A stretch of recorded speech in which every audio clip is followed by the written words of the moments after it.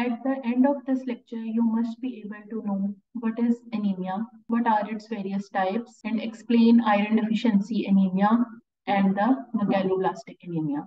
The topic for today is anemia. Anemia is defined as deficiency of the hemoglobin or low RBC count and the hemoglobin less than normal. For diagnosing anemia, we must know the normal level of the hemoglobin or the RBCs. Level of the RBCs in males is 5.2 million per cubic millimeter and the normal value in the females is 4.7 million per cubic millimeter. And the level of the hemoglobin in males is 14 to 16 grams per deciliter and in females it is 12 to 14 grams per deciliter. So whenever there is low RBC count and the hemoglobin is less than normal, we will say it as anemia. It can be caused either by increased breakdown of the RBCs, decreased production in the bone marrow.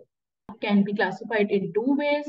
First is the clinical and second is according to the morphology. In morphological classification, we will see the RBC size, for example, MCV. In clinical types, it is has various types. Blood loss anemia, which is also called as hemorrhagic anemia. It can be acute or chronic. In aplastic anemia, in which there is any bone marrow disorder. In iron deficiency anemia, in which RBCs fail to mature. In megaloblastic anemia, there is vitamin B12 deficiency, and we know that vitamin B12 is an essential factor for the DNA synthesis and RBC's maturation, resulting in, so their deficiency will result in immature big size RBCs or hemolytic anemias in which there is excessive hemolysis of RBCs. For example, in hereditary spherocytosis. In spherocytosis, RBCs become spherical shaped and they are very fragile. So excessive hemolysis will occur. In sickle cell anemia, hemoglobin becomes sickle shaped, which cause damage to the RBCs.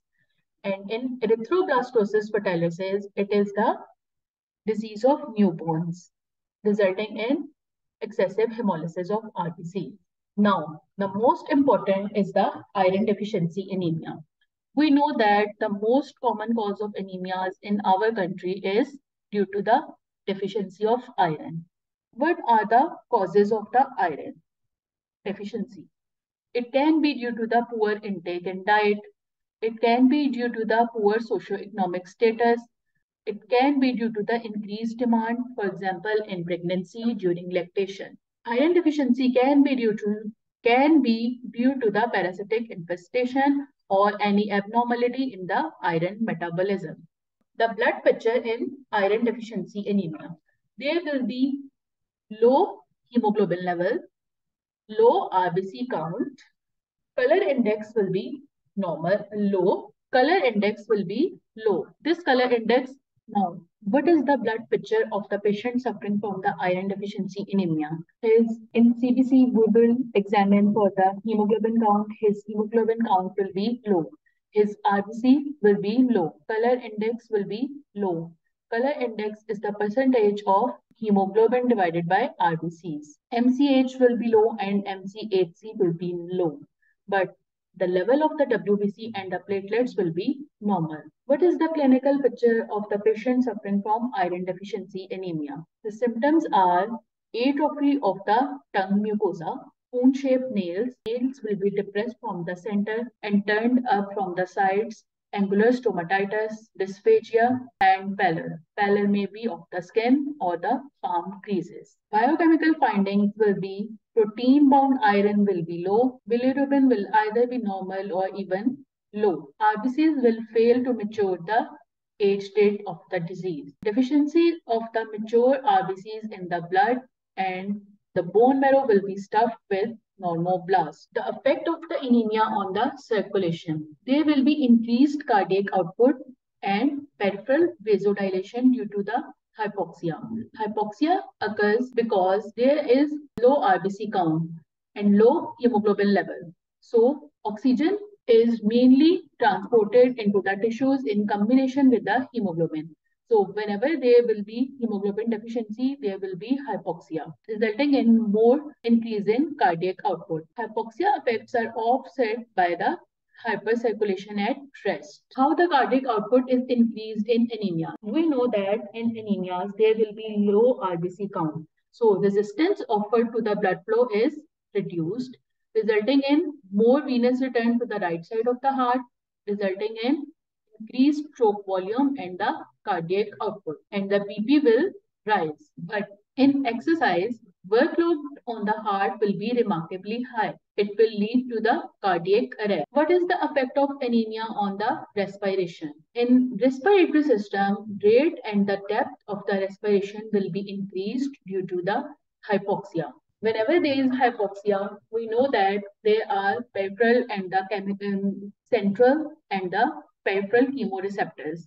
They are highly sensitive to the changes in the chemical composition of the blood. So hypoxia will stimulate the respiratory center and it will in turn send more signals to the respiratory muscles, resulting in increased in the rate of the respiration. Now, the second most important type of the anemia is the megaloblastic anemia, which is also called as vitamin B12 deficiency anemia. What are the causes of most common important cause is the vitamin B12 deficiency and the folic acid deficiency. Suppose whenever there is damage to the gastric mucosa, it will lead to the decreased secretion of the intrinsic factor. We know that but this intrinsic factor is required for the absorption of vitamin B12. So whenever there is vitamin B12 deficiency, it will lead to the pernicious anemia. RBCs will not mature and big size immature RBCs will be present in the blood, resulting in megaloblastic anemia. It is the most common type of macrocytic hypochromic anemia. What is the hematological picture of the hemo uh, of the megaloblastic anemia? It is more common in the men of the middle age, while iron deficiency anemia was more common in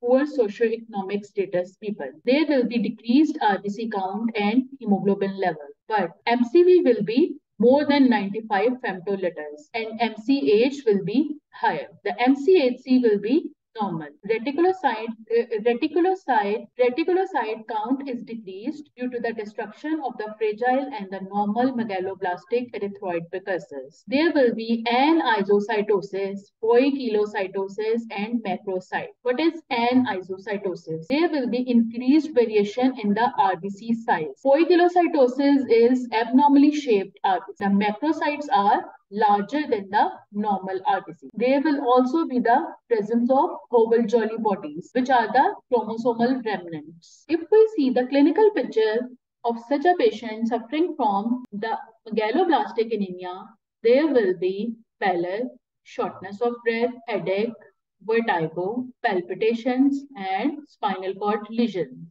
If we see the biochemical findings of the patient suffering from the megaloblastic anemia, their RBCs will be of big size, they are immature, they are very fragile, and their lifespan is shorter. But the bilirubin level will be higher, and the bone marrow will be stuffed with the megaloblast type of the cell.